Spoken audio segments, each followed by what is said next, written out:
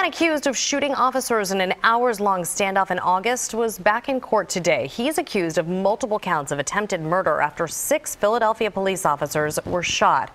Eyewitness News reporter Matt Petrillo is outside the Criminal Justice Center with today's developments. Matt? Well, on top of those six attempted murder charges, Maurice Hill is also being held today on gun and drug charges. Today, here at the Criminal Justice Center, authorities revealed five weapons were recovered from that crime scene, including an AR 15.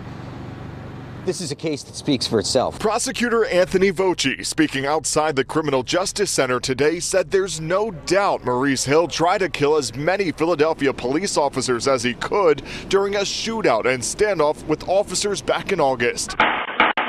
That's when officers say they were trying to serve a search warrant here in the city's Nicetown Tioga section when Hill started firing a huge cache of rounds at police for nearly seven hours, striking six men in uniform. You fire that many guns and you hit as many officers that he hit with no regard for the value of human life, you, you don't have to be able to argue that case whatsoever. It, it, it literally speaks for itself. During the preliminary hearing today at the Criminal Justice Center, we also heard from the first officer to get into Hill's home, Sean Parker. He testified about the moment he walked into Hill's kitchen and a bullet suddenly grazed the left side of his head. Quote, I immediately saw a flash and I knew I was shot. I took cover, began firing into the kitchen. I was trying to figure out how I was going to get out of the house. It was constant gunfire from the kitchen. Officer Parker later made a harrowing escape by smashing a window with his gun and climbing out of it before running to a patrol car. I think the bravery of the Philadelphia Police Department was on full display.